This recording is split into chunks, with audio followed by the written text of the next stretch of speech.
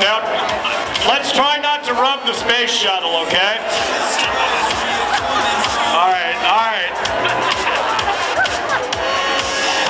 There you go. Did these guys? Did these guys launch from uh, Johnson Space Center, PT? And uh, is that, is that where? Congratulations, kids. Your parents are very proud. Yeah. So Thank you. That's about 8,000 people watching you float, holding on to it.